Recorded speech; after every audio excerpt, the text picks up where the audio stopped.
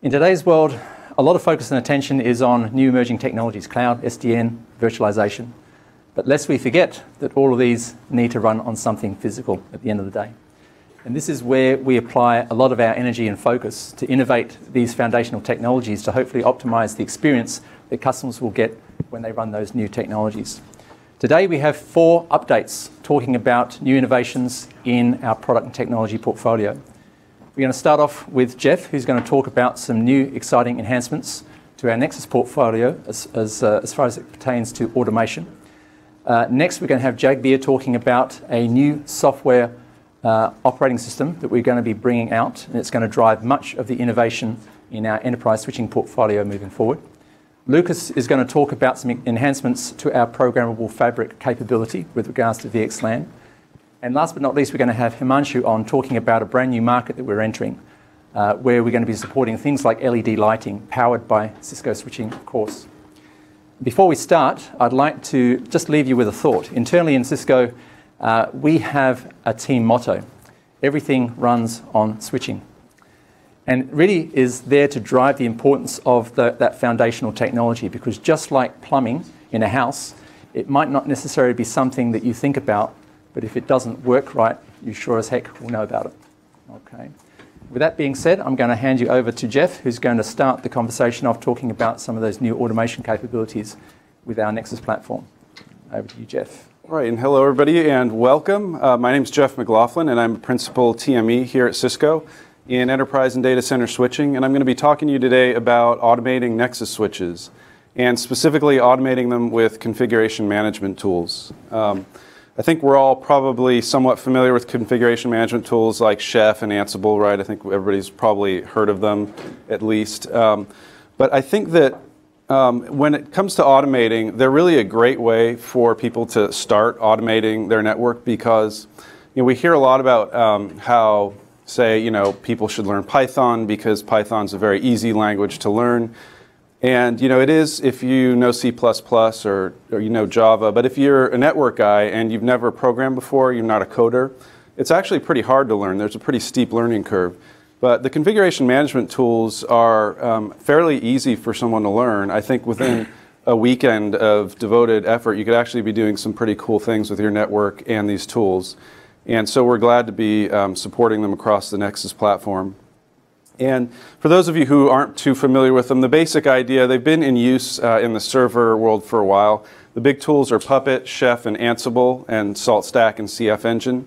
And basically, um, the way it works is if uh, in the server world, if someone's bringing up a server and they want to make sure that certain packages are installed on that server, right, and that certain libraries are there, that are certain versions or certain configuration files are present, or they want to make sure that um, particular services are running on that server, they use these tools to automate that process.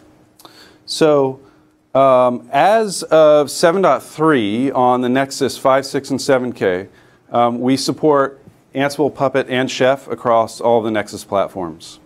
Okay, so currently, as of, and 7.3 is going to be out at the end of this month. So currently um, on the 3K and 9K switches, we do support um, Puppet, Chef, and Ansible, but as of the end of this month, on the 5, 6, and 7K, we will support them all. Currently, the 5, 6, and 7K only support uh, Ansible in the 7.2 release. And the reason for that is that um, unlike Puppet and Chef, Ansible is an agent-less configuration management tool. So for Puppet and Chef, you have to actually install an agent. So that means that we have to build the agent, and not only that, we have to have the infrastructure to install the agent, right? You need to have um, you need to have a Linux shell running. And so we had to get the, um, the Linux container running for the 5, 6, and 7K. Uh, on the 3K and 9K, you can install the agents directly into the bash shell, um, which is available, or else into the guest shell, which is a, um, it's a Linux container. So kind of like Docker Lite, basically, if you're familiar with Docker. On the 5, 6, and 7K in the new release, um, you'll only be able to install those agents into the, um, into the uh, Linux uh, container, which is called an OAC, or Open Agent Container, on the 5, 6, and 7K. So bottom line is that as of this new release at the end of this month, uh, we'll be supporting them across all platforms. So for the purposes of this talk, you know, uh, in the interest of time, I thought I would take one and focus on it and give you a quick overview, and then I'm going to do live demo. So uh, we'll switch to that, uh, get away from the slides in a minute. So I'm going to talk about Puppet. Um, we were actually up at PuppetConf back in um, September of last year, and there was a lot of interest um, from the people who were there. A lot of them were server guys, and they're saying, you know, how do we get our network guys interested in this? It's great that you guys can do this, that you can run it on Nexus, but you know, how do we get them interested? And, and usually my the, the, response that I have is, look, you, you, know, you have to show them the benefit that it that it has for them. I mean, we hear a lot about CLI being error prone or difficult to, it's not repeatable or those sorts of things. But at the end of the day, um, if for most network guys, if they take a stack of switches and you tell them, you know, we need you, I need you to configure the stack of switches, they're probably going to configure the first one, take the config, put it in a notepad, and then change a few things and paste it in all the other switches, right? And that's automating, right? That, that's a kind of automation. Notepad is like an automation tool for a lot of people. So this is, like I said, with a fairly small investment of time, I think there's a very big return for people who would, um, who would do that sort of thing. So a basic, um, basically how Puppet works and the other tools are very similar. There's a central server. In the case of Puppet, it's called Puppet Master. And on that server lives the configuration files that you'll be pushing out to the devices that you're managing. Again, with Puppet, um, there's an agent, um, whether it's compute nodes or uh, one of our switches. And in order for Puppet or any of these tools to configure something, they have to, of course, know what it is that they're configuring, right? They have to know the parameters um, about, about what they're actually um, uh, configuring on that device. And so in the case of Puppet, um, it gets that information from uh, their repository, which is called the Puppet Forge. Okay, so the Puppet Forge is where they store all of those resources. They're called providers and types that are needed to configure devices. And so if you want to um, configure a Cisco device using Puppet, you would go onto your Puppet Master and type, you know, Puppet module install, and you would give it the name of our module, which is Cisco Puppet. And then your server would go and pull that down from the Forge and install it, and you would be able to configure our devices. Now, you also had the option, there are some resources living in GitHub. I think we're all familiar with GitHub by now, probably.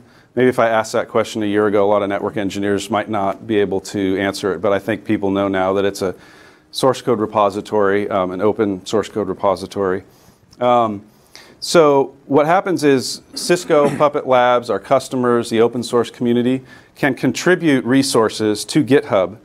And then Cisco and Puppet Labs go through a qualification process and over time pull those resources into the Forge. So anything that's living here in the Forge would be um, approved. You know, the code meets certain standards. It's um, supported, which means that you know if you pick up the phone and call Puppet, they will you know obviously feel the call on that if you're paying for a support contract, and you have the enterprise version.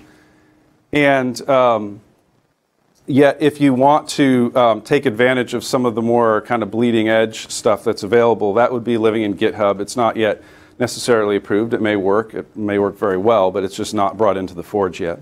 So you have that option too. So if you look at actually what's in the Forge now. Um, you know, there's we support what's called NetDev Standard Library, which is basically some vendor-independent uh, modules, and then we also support some basic config like AAA and SNMP, um, IP interface config, VLAN config, protocols, VRFs, and and then if you look in, the, in uh, GitHub, you'll see some other modules like VXLAN, for example. That's not in the Forge yet, but it should be there soon. Okay. Any questions before I go to the next slide? Okay. So some of the use cases that we have for Puppet. So day zero, there's kind of a chicken and the egg thing, right? Like, how do I configure the switch with this um, tool if I don't have it installed yet? You know, in the case of Puppet and Chef, we need an agent.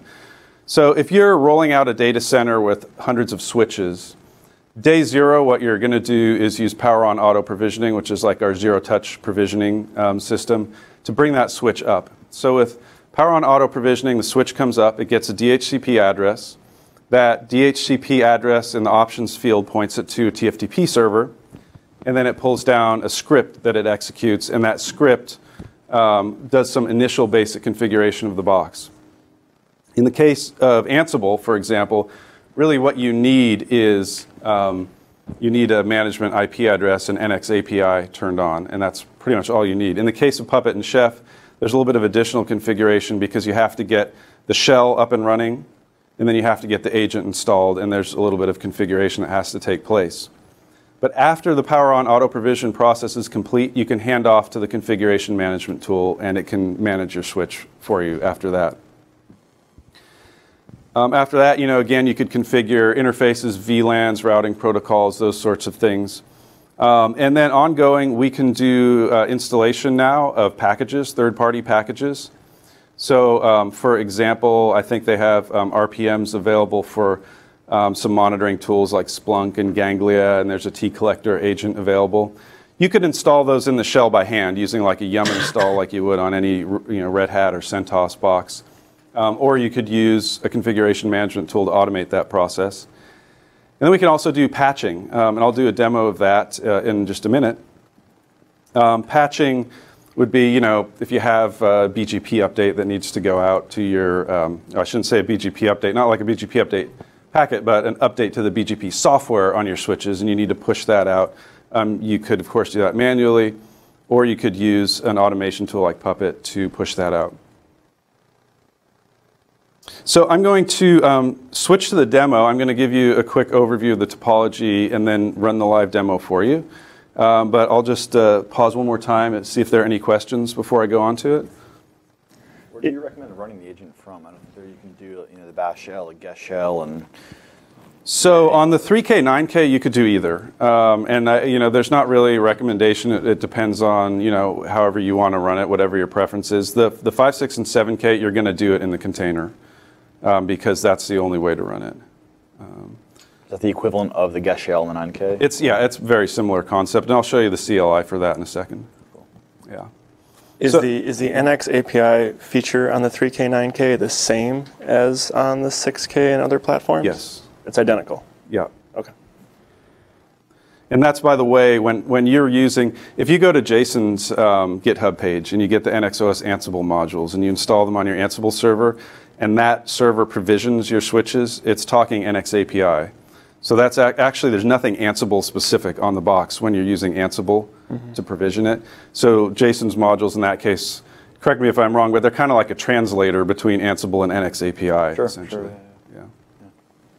So the demo I'm going to run for you, it's a pretty simple topology. There are three boxes. In this case, they're all 7Ks. Um, and one I'm calling a spine switch, but really the difference between the spine and the leaf switches is the spine has two interfaces. Um, and so what I'm going to do, I'm going to, um, using the Puppet Master server, I'm going to um, provision some VLANs, configure those VLANs with um, a name, an SVI with an IP address, and bring up OSPF. So when it's done, we should have OSPF adjacencies between all of these. And then I'm not showing it here, but I have a 9K also, and I'm going to push a patch to it using the Puppet agent. All right, so let me get started. I'm actually going to pull up a chair so I don't have to hunch over.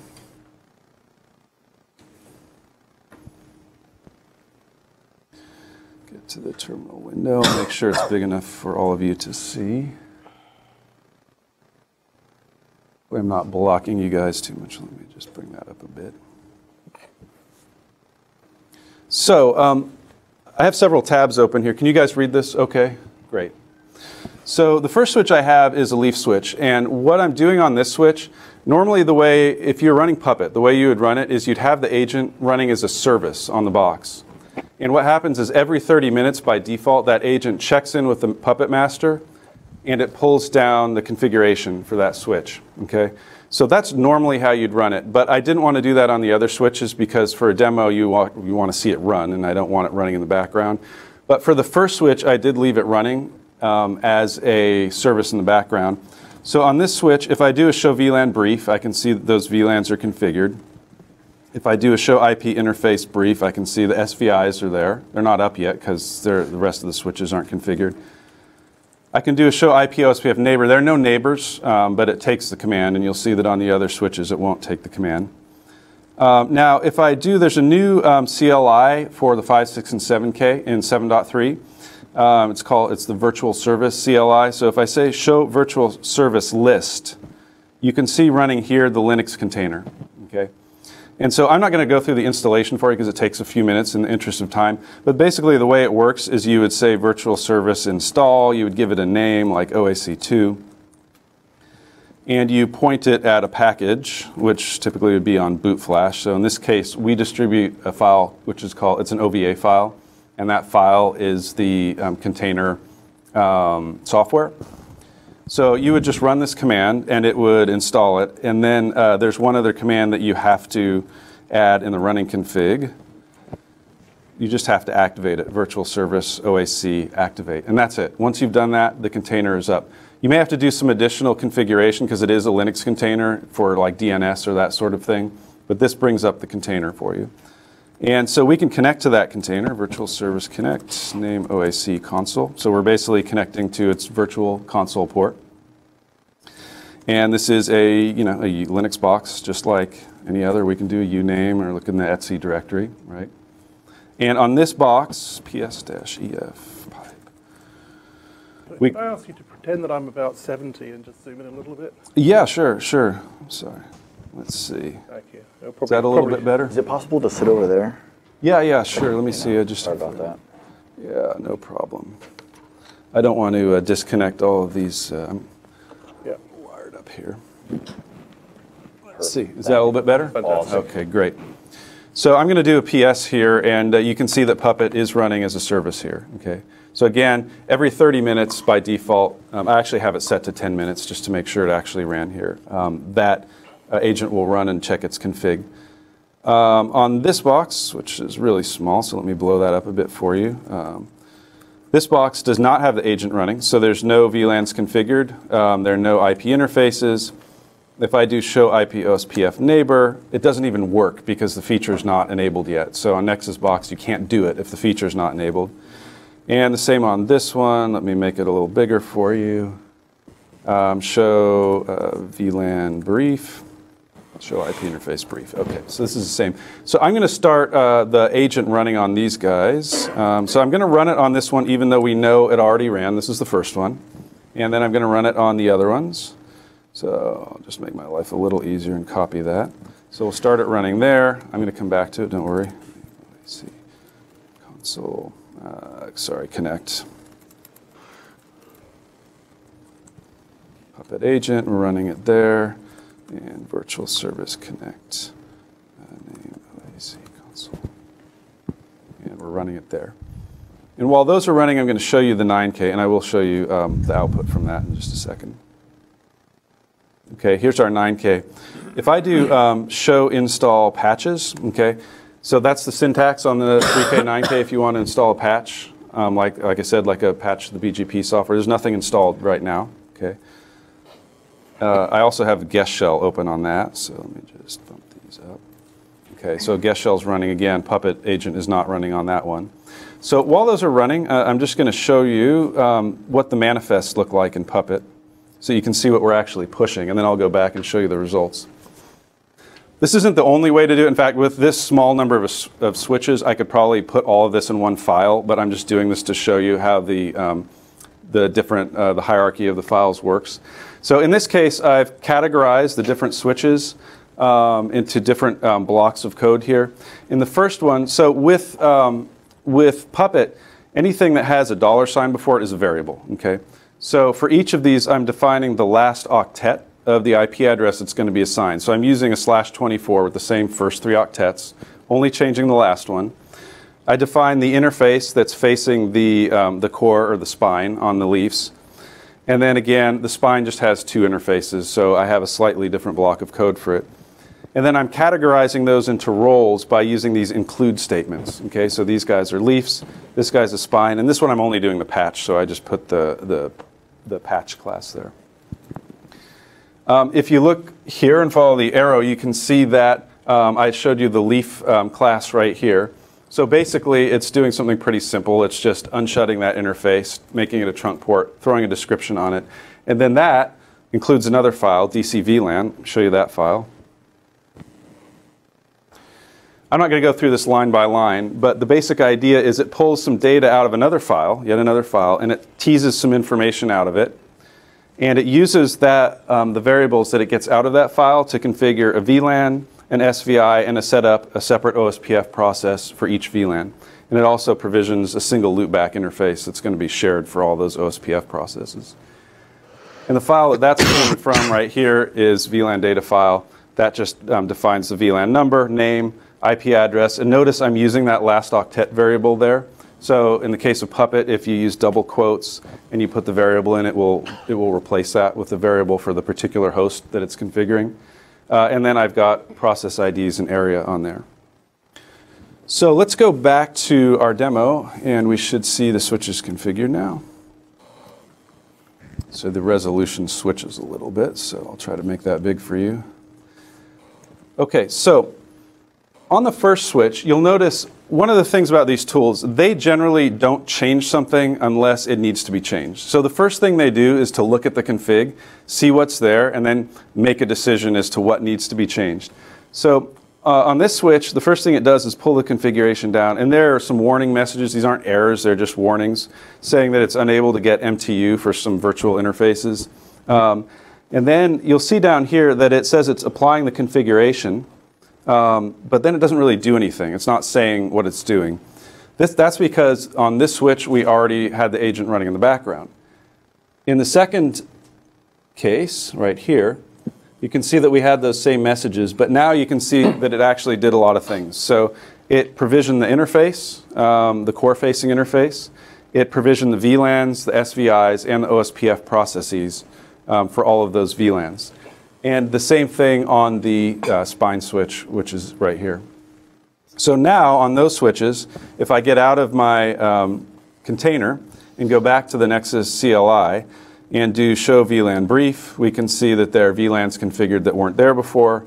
If I do show IP interface brief, we can see the SVIs and show IP OSPF neighbor. We can actually see um, all of the neighbors came up. It has two neighbors on every VLAN in this case. And on the first one where it didn't do anything, we remember you can remember that there weren't any uh, OSPF neighbors at first, but now it has adjacencies on all the VLANs. Now on the 9K where we had no patches, we're going to run the agent, and it won't take very long to run that. Puppet agent.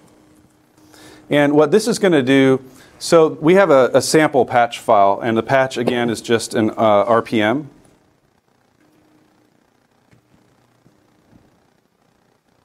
It's not liking my environment variables, but I think it's running anyways. Live demos always work. Always. so what it's going to do is pull down the RPM uh, patch file, sample patch file, copy that to boot flash, and install it. So I didn't get those warnings the last time I ran it, but anyways, it looks like it did pull down the file, and it did uh, install it. And we will see if that's the case here. Show install patches. Yeah, so we can now see that the patch has been installed. So you can do that install from the command line, um, or if again, if you have to push that out to a lot of switches, you could use the configuration management tool to push it out. Okay. So a lot of these, the stuff that's happening here, it's already done for you. It just has to come from from Puppet Forge, and then you've got to edit a file to give it whatever values. Yeah. Which could eventually it could be web-based right? Fill in the values, and then behind the scenes, it does it all for you. Yeah, there's a, there's a few options, and the demo that I ran is pretty simple. Um, one thing that's great about these tools is they have a lot more programmatic control um, over the things that they're configuring. So you can run loops and iterate through variables and things. So, you know, in this case, I kind of manually defined all of the VLANs, but you could have some kind of an iteration if you wanted to. Um, yes, you could potentially, you know, have some sort of a web-based configuration that builds the manifests. Um, the manifests themselves you build, um, so you know you can obviously get sample files for whatever configuration management tool you're running and base your work off of those.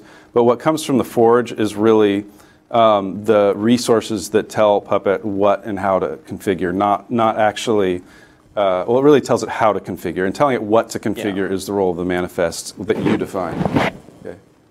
Okay. So, in terms of, of, going back and doing things over again, um, I'd like to have a switch that I could drop in and get cabled up, and my manifest simply says apply these IP addresses on it. It needs to be trunking. Um, but then I want to be able to dynamically create Uh, I want it to, to dynamically figure out which physical interfaces it was, who the upstream neighbor is that it really got plugged into, because maybe somebody plugged it into the wrong upstream. Yep. Okay, so I want to be able to, to determine that, and I want to be able to create the description dynamically, because I want to add tags to it that allow me to better manage that device. Yep. Possible. Some of that is possible. I know that we can do, you know, like um, cable plan verification. Excuse me while that thing goes dark. Um, I don't know if we can do it exactly the way you described it. You know, one thing is that you know this is still pretty new. I mean, it's just coming out across five, six, and 7K. So uh, as as um, as we continue this, I think the features will get more robust. Um, but again, I, I think that we can do cable plan verification. So um, I can actually, uh, I've done a little bit of this on the 9K only, so I can't speak to the whole how this extends to the 5K, 7K, but um, and it won't be just using one tool. Um, in my experience, you do have to augment this with a little bit of your own software, um, because, for instance, you can query the switches LLDP or CDP tables That's what I was thinking, yeah. And make those calculations yourself. And then absolutely, you could use tools like this to push the relevant config down.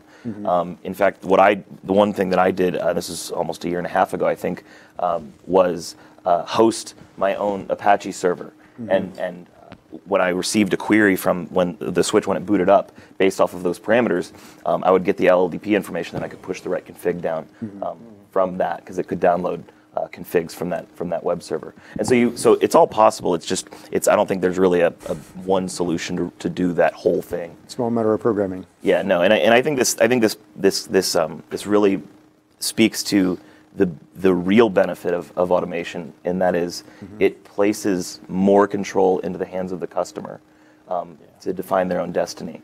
And, and I and I think it's great. that vendors provide the tools, and of course they can they can build all their own software on top of that to to do the turnkey thing. But for those that kind of want to fill in the blanks, I think this is right, the right direction. And what you've said too, I've done things like that with Ansible in terms of gathering neighbor data and use that data to configure descriptions on interfaces, let's say. Right. So it's step one, query it. And again, I'm not as adverse in Puppet, but in other tools, you can definitely do that as long as you build the logic in yourself for the querying part of it. It's not natively built in.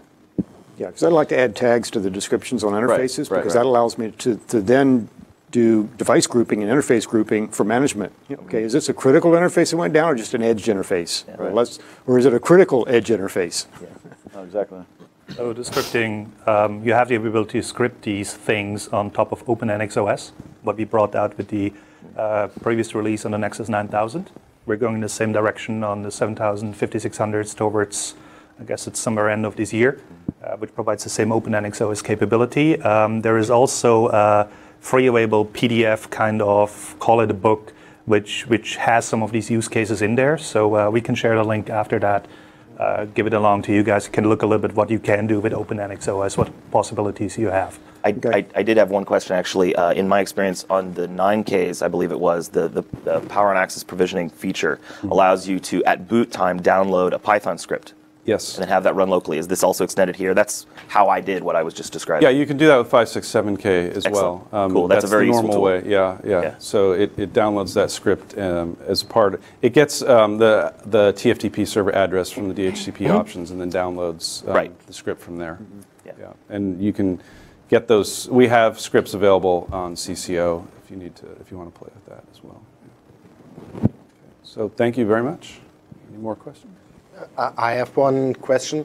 Uh, what I have s- uh, seen here um, would also be possible with Ansible without a client, yeah? Yes. On the platform.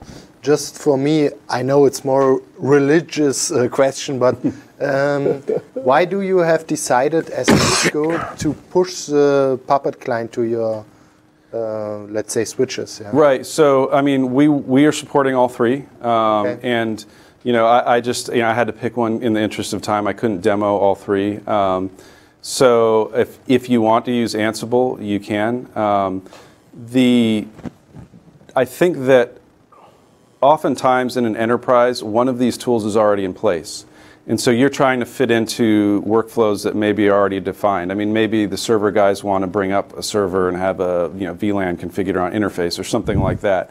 So oftentimes you're probably going to go with what's already in place in your enterprise. So if you're a Puppet enterprise and you want to start using one of these tools, you'll go with Puppet. If you're a Chef enterprise, you'll go with Chef. Okay, so behind that, you will support all three mentioned platforms in the long term, yeah? Yes. That is uh, Cisco's strategy, yeah? Yep. Okay. What's the level of support in Puppet for the configuration commands? Like what, what can you configure right now using Puppet? Yeah, that's a good question. So um, as I said, you know, it's still it's still pretty new. Um, if you go into the Forge, you know, the, the commands are still pretty basic. I mean, you can do, I think I mentioned NetDev standard library, and then um, you know, AAA, SNMP interfaces, VLANs, protocols. I think OSPF, BGP, VRFs, OSPF, and BGP in the VRFs. Um, and then if you go into GitHub, there's quite a few more resources available. Um, I think I mentioned VXLAN. I, I, don't know all of them off the top of my head, um, but there are several more in GitHub. And you know, as time goes on, those are getting pulled in um, to the Forge. Um, so for the purposes of clarity, if we configure the device initially using Puppet and then we make changes via CLI, and the Puppet manifest gets checked again in 10 minutes and things are not the way the manifest expects it to be, it is presumably going to change them back the way it thought it should be, right? Yes. Okay. So there's an, there's an implication here that once you're committed, or at least in theory, once you've started doing it with Puppet, you're kind of committed to going in that direction and really doing everything that way. And at which point, it's kind of a useful way to audit your equipment every 10 minutes Yes. to make sure nothing changed. On the other hand, it also kind of you know, tips your hand in one direction. Yeah. So in the first place, if you're changing something that Puppet is not that is not in the manifest, it's probably it's just going to leave it. Um, if you you know if you delete a VLAN that it thinks should be there, it's going to add it back. Um, so yeah, obviously, if you're doing stuff via CLI, you want to make sure to go back to the manifests. You, you'd probably, if you had to do CLI config on a box, you'd probably stop the Puppet service, do your CLI config, go back over the manifest, make sure it's not going to mess anything up, and then start the service again. I saw the when the interfaces were configured, it would it put a description on there managed by Puppet. Yeah. Does it do anything with the VLAN names so you'd know don't mess with these? That's up to you. I mean, I could have added it so that it named the VLAN So you- something that you would added be. that? I added that. Yeah, Okay. that was that's in that manifest. If I deleted that line, I could put it put whatever I wanted. Yeah.